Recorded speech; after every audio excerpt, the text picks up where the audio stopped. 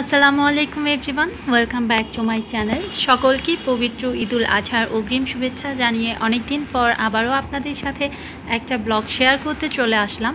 আশা করছি আমার আজকের এই ব্লগটা আপনাদের কাছে খুবই ভালো লাগবে।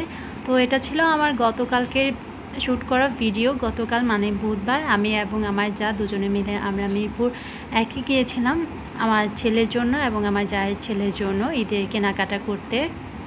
তো এখন আমরা রিক্সায় আছি, তো ভাবলাম একটু ভিডিও করে নেই। অনেক দিন আপনাদের সাথে কোনো ব্লগ শেয়ার করতে পারছি না। একটা ব্লগ শেয়ার করি, তো সেজন্যই ভিডিও করা আর কি। তো এই যে রাস্তায় দেখতে পাচ্ছেন অনেকেই কিন্তু। এখন যেহেতু কোরবানির সময়, কোরবানির গরু নিয়ে যাচ্ছে। আর কোরবানির ঈদের সময় আমার বাহিরে বের হতো সেজন্যই কিন্তু খুব ভয় করে, কারণ রাস্তায় রাস্তায় গরু নিয়ে যাওয়া হয়। আর যদি গরুটা একটু পাগলা টাইপের হয়, তাহলে একটু ছোটাছুটি করে, সেজন্যই আমার বাহিরে বের হতে খুবই ভয় লাগে। তো আমরা মিরপুর একের প্রায় কাছাকাছি চলে আসছি। আর এই যে দেখছেন একটা মাজার শরীফ, এটা হচ্ছে হজরত শাহ আলী মাজার শরীফ। এটা আমাদের মিরপুর একেই অবস্থিত। আর মিরপুর একেতে অনেকগুলাই মার্কেট আছে, সেজন্য আমাদের আর কেনাকাটা করতে বাইরে কোথাও যেতে হয় না, এখানে কিন্তু সব পাওয়া যায়। তো আমরা আমাদের কেনাকাটা করার জন্য সবসময় মিরপুর একেই আসি। আর যেহেতু মার্কেটের ভেতরে অনেক ভিড় ছিল, সেজন্য ভেতরে গিয়ে আর কোনো ভিডিও শ্যুট করতে পারি নাই। এইখানেই সমাপ্তি করে দিলাম। আর বাসায় যেয়ে কী কী শপিং করলাম, সেটা আপনাদের সাথে শেয়ার করব। তো বাসায় চলে আসছি। তো যেহেতু সামনে ঈদ এসে পড়েছে আর সবাই ঈদের স্পেশাল কিছু শেয়ার করছে, তো ভাবলাম আমি কেন করব না?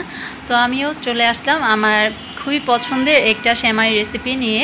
তো সেমাইটা রান্না করার জন্য আমি চুলাতে প্রথমে হাফ লিটার পরিমাণ দুধ দিয়ে দিয়েছি আর দিয়ে দিলাম পরিমাণ মতো চিনি।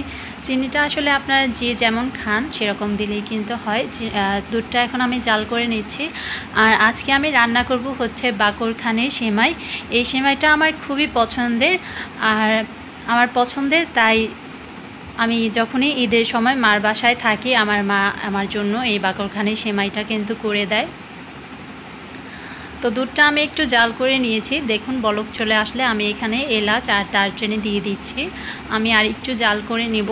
আর বাকরখানিটা আমরা যারা আমিন বাজারে আছি, তাদের সকাল বিকালের চায়ের সাথে না হলে কিন্তু চলেই না। আমাদের খুবই ফেভারেট আমারও খুবই ভালো লাগে। আর এই সেমাইটা কিন্তু খেতে আরও ভালো। অবশ্যই যারা আপনারা খাননি কখনো ট্রাই করে দেখবেন।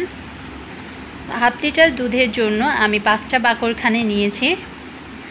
আর বাকরখানিগুলো আমি মাঝখান দিয়ে একটু টুকরো করে নিয়েছি, ভেঙে নিয়েছি।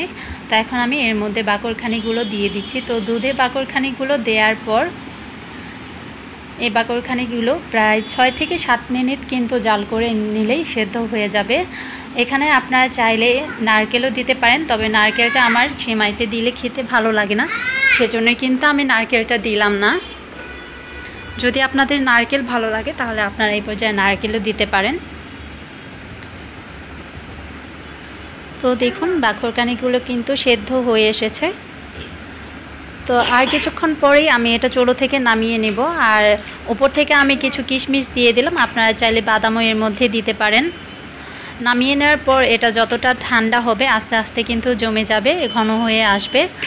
তো এই পর্যায়ে কিন্তু আমি চুলো থেকে নামিয়ে নিব।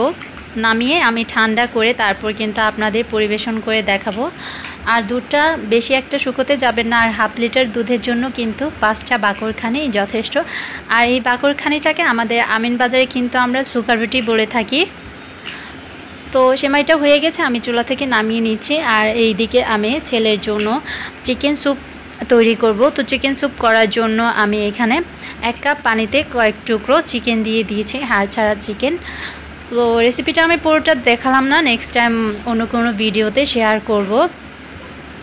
তো এই যে বাখরখানে সেমাইটা আমি নামিয়ে নিয়েছি, আমার তো খুবই পছন্দ। আপনারা অবশ্যই একবার হলেও ট্রাই করে দেখবেন, খেতে খুবই ভালো লাগে।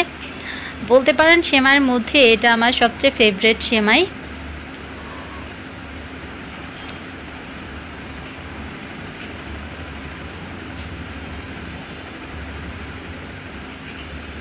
দেখতেই পাচ্ছেন কতটা লোভনীয় হয়েছে আমার বাকরখানের সেমাইটা।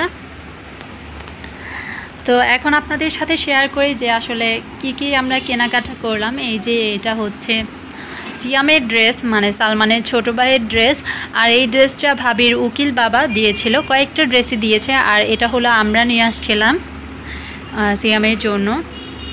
এই যে শার্টটার সাথে এই প্যান্টটা আছে, তো সেম কাপড় আমরা খুঁজেছিলাম সালমানের জন্য, সেম শার্টটাই কিন্তু আমরা খুঁজে পাই নাই। আসলে ওর মাপের এই শার্টটা ছিল না, শুধু সিয়ামের মাপেরই ছিল। আর এই যে এই হাতা কাটা নেমাগুলো দেখছেন, এগুলো ওর নানু বাসা থেকে দিয়েছে। এগুলা সাইজে অনেক বড়, এখনও লাগবে না, ওর বয়স হয়তো দেড় দুই বছর হলে পরতে পারবে। আর এই ড্রেসটাও ভাবির উকিল বাবা দিয়েছে সিয়ামের জন্য। ভাবির উকিল বাবা সিয়ামের জন্য কয়েকটা ড্রেস দিয়েছে। আর আমরা কি কি কেনাকাটা করেছি সেটাও দেখাচ্ছি। এই যে এই ড্রেসগুলোও দিয়েছে। হাতা কাটা নিমা। আর এই যে সিয়ামের সিয়ামকেও একটু দেখিয়ে দিলাম। দেখুন, ওর সব কাপড়গুলো টেনে টেনে ওর কাছে নিয়ে যাচ্ছিল। তো মোটামুটি এই ছিল সিয়ামের ঈদ শপিং। আর এই যে এখানে নিয়েছি একটা ডোরমেট এটা ভাবি রুমের জন্য। আর এই যে সালমানের জন্য একটা স্লিপার, এটা বাসায় পরার জন্য নিয়েছি। আর টুকিটাকে আরও অনেক কিছুই নেওয়া হয়েছে। এগুলো হচ্ছে সিয়ামের প্যান্ট প্লাস গেঞ্জি। আর আমাদের শপিং করতে গিয়ে আসলে অর্ধেক শপিং করেই কিন্তু চলে আসতে হয়েছিল। কারণ সিয়ামকে তো ঘুম পাড়িয়ে গিয়েছিলাম। তো ও কিন্তু ঘুম থেকে উঠে গিয়েছে, বারবার বাসা থেকে ফোন কল আসছিল। আর তার মধ্যে হয়েছে কি যে, আমরা যাওয়ার পর ভাবির খালারাও আসছিল, তো ওনারা এসে বারবার ফোন দিচ্ছিল, সেজন্য অর্ধেক কেনাকাটা বাদ রেখেই চলে আসতে হয়েছে। আর এগুলো হচ্ছে সালমানের জন্য, সালমান বাসায় পরার জন্য। এই প্যান্টগুলো, এগুলো হচ্ছে গেঞ্জির কাপড়ের খুব আরাম পরতে। আর এটা হচ্ছে সালমানের ঈদের জামা, এর ড্রেসটা ওকে ওর বড় বাবা কিনে দিয়েছে। আমরাই পছন্দ করে নিয়ে আসছি, ওর বড় বাবা আর কি কিনে দিতে বলেছে। আর এই যে, এই প্যান্টটাও নিয়েছি। আসলে শার্টটা আমার খুবই পছন্দ হয়েছে বাট প্যান্টটা আমার তেমন একটা পছন্দ হয়নি। এটা হচ্ছে একটা থ্রি কোয়ার্টার প্যান্ট। তো সালমানের জন্য এই প্যান্টটাও নিয়ে আসছি। আর এই যে আরেকটা জামা সালমানের। এই জামাটাও ওর বড় বাবা ওকে দিয়েছে। এই জামাটা খুবই সুন্দর, সাথে একটা কিন্তু ওপরে কোটিও আছে, শার্টের সাথে। এই যে কোটিটা, এই ড্রেসটাও খুব সুন্দর। আর এটার সাথে হচ্ছে একটা প্যান্ট, প্যান্টটা হচ্ছে থ্রি কোয়ার্টার। তো এই ছিল মোটামুটি সালমানের ঈদ শপিং, সালমান আর সিয়ামের ঈদ শপিং। ওদের জন্য কোনো যতু নেই নাই।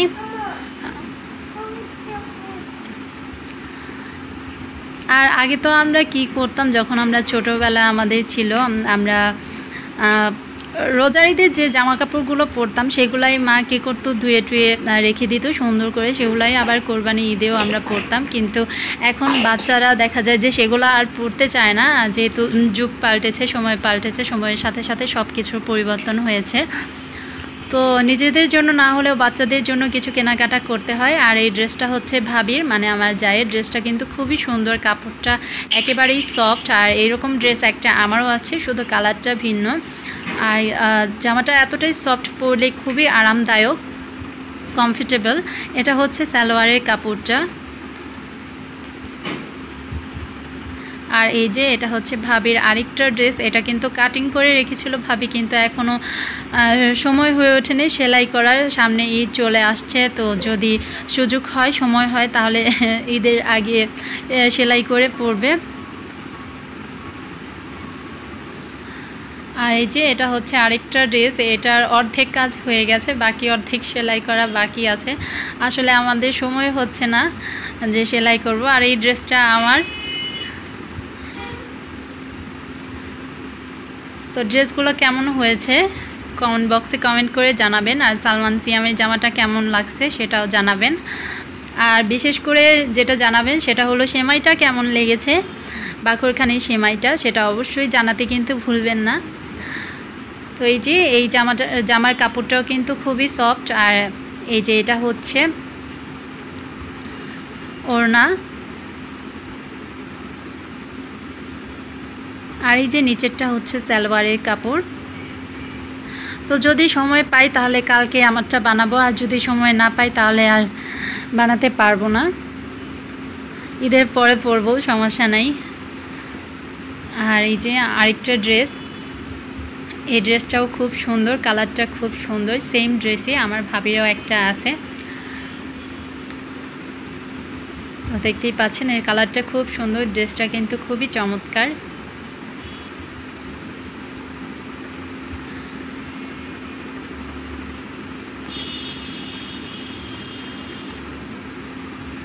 তো মোটামুটি এই ছিল আমাদের ঈদ শপিং। আশা করছি আমার আজকের এই ব্লগটা আপনাদের ভালো লেগেছে।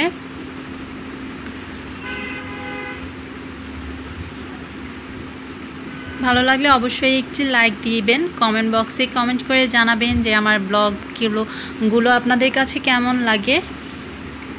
সবাই ভালো থাকবেন, সুস্থ থাকবেন, আমাদের জন্য দোয়া করবেন। সকলকে ঈদের অনেক অনেক শুভেচ্ছা জানিয়ে আমি আমার আজকের ব্লগটা এখানেই শেষ করছি।